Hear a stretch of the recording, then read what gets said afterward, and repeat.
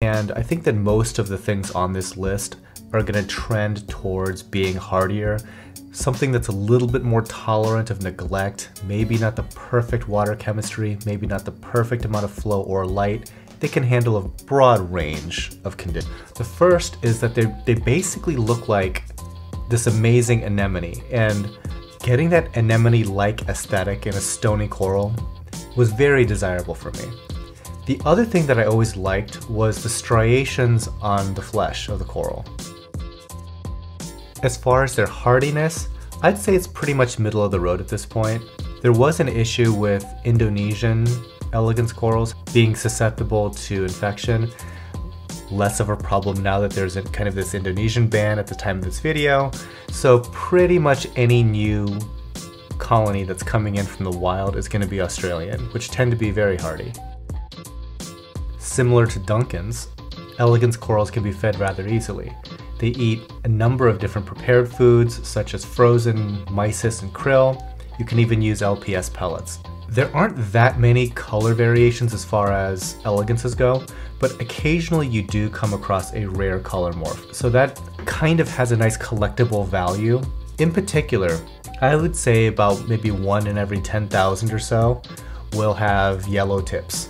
And I used to have this particular colony, it was gigantic. It's probably easily a foot and a half across.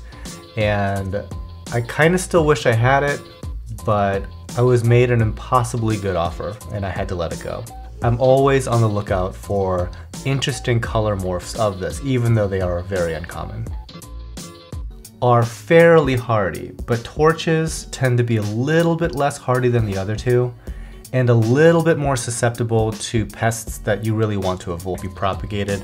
I know some people like to say that they can cut scolies, but in practice, you cut a scolie, you get a, a weird shaped one, and that pretty much has eliminated all value from it. And it'll take about a decade for it to turn back into a circle. Even if you're able to cut it, have both pieces survive, you end up with two misshapen pieces. I'm just gonna go ahead and categorize that as not really something you wanna be propagating.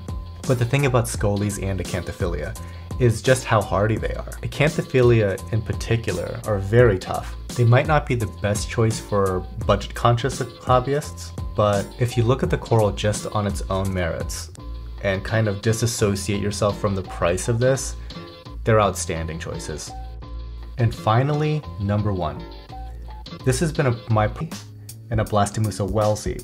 And in the past, I would always kind of say that the smaller polyp guys are the Merlettis, the larger polyp guys are the wellesiis.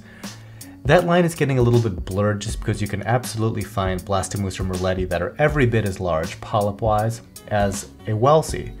Wellesiis tend to have a little bit better coloration.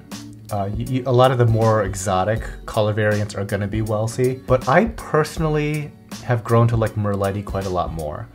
They are much faster growing, they're a little hardier, and there are more color variants being discovered. We somewhat recently acquired a very nice blue and red variant. We also acquired a really nice red and yellow variant, and I've never seen anything like that before in about 20 something years.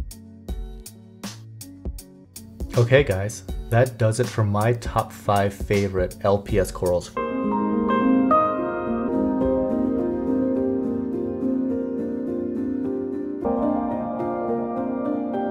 Know if I'm saying it right. It's probably Minnesota style. Stretch my O's. We understand. Uh, yeah. So, but that you know, that's kind of the